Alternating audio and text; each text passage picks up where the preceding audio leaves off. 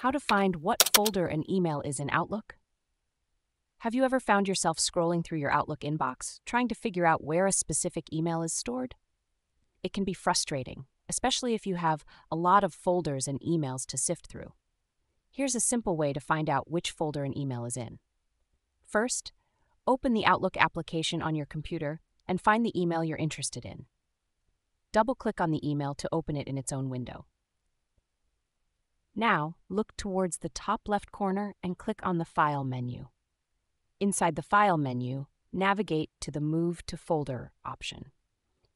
Here, you'll see the current location of the message displayed clearly. If you're using the search function and need to find the folder of an email from the search results, there's a slightly different approach.